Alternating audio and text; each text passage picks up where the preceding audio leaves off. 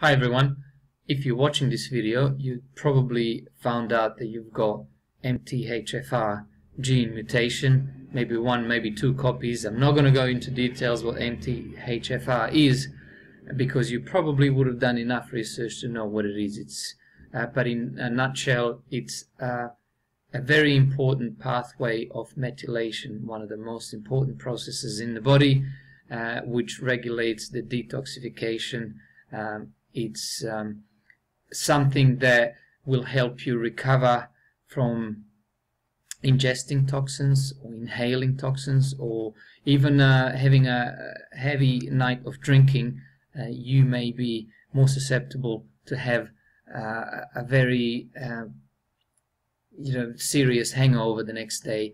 Uh, this is what I noticed anyway. So I had mine tested MTHFR unfortunately I got both copies uh, so, and you think, okay, so but, but am I affected by it? Uh, the number one um, sign that you are under methylating because of this MTHFR is that your homocysteine is high. Now you got to test the homocysteine properly.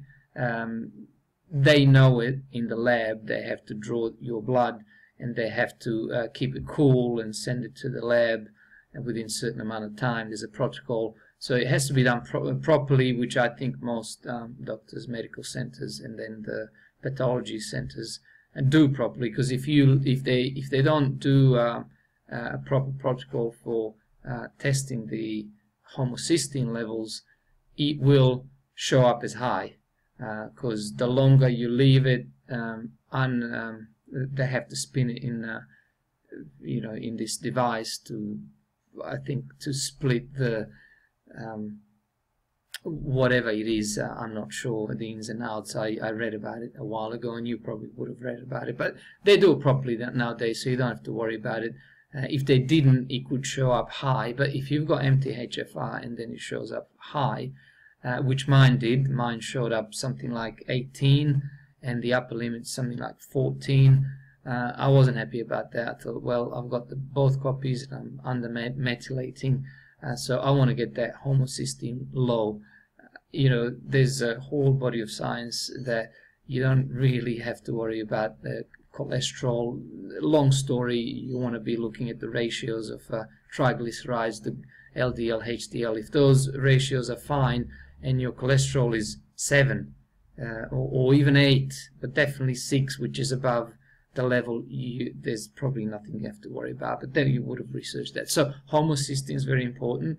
Uh, a lot of doctors don't even know about it. I was lucky enough to have a doctor who uh, tested me for MTHFR and then did the test on uh, homocysteine, which was elevated. So this video uh, is about uh, what lowers um, the homocysteine level. Again, you would have done the research and they would have talked about uh, certain vitamins and definitely B vitamins, right? And they need to be the exact compounds. They they, they have to be methylcobalamin, uh, etc. etc. They, they have to, uh, you know, you, you can't have the folic acid. It, needs to be folate, the active ingredient. So uh, I just wanted to uh, do a quick video to show you which one works because my homocysteine level went from 17 or 18 uh, down to 13 now, that's just under 14, uh, but I, I'm going to try and get it even lower, but I've only started using this uh, B, you could call it complex, but I'll, I'll show you what it is. I'm actually going to include the link uh, below. It'll take you straight to it. Uh, it has the high doses of the desirable compounds of B, uh, so you won't have to get two or three or five different um, bottles of it. Uh, it all comes in one bottle. You'll, you'll see it's uh, it's one of these uh, Thorne uh, Methyl-Guard ones, but they've got a few. So I've done the research. I've looked at uh, what they contain, what each what each one contains, and unfortunately, this one's the the most expensive one, but it has it has what you want. Um, so I'll include the link. It worked for me. Uh, I've only used it for a couple of months. I a, feel better, B, my homocysteine is down in the normal range. I'm going to get it down even, even lower uh, with continued use of this. Um, and again, you would have found a lot of um, resources out there, and no doubt that's how I come across this. But worrying about uh, you know got to do this, got to do that, stop eating this and that, uh, fair enough. Go and do, go ahead and do that. But this is you could you could call it a silver bullet. Uh, it, it is something that is going to uh, get your homocysteine down, get you back on track, and give you the the correct um, vitamin B, uh, you know, B1, B2, B3, B5, B6.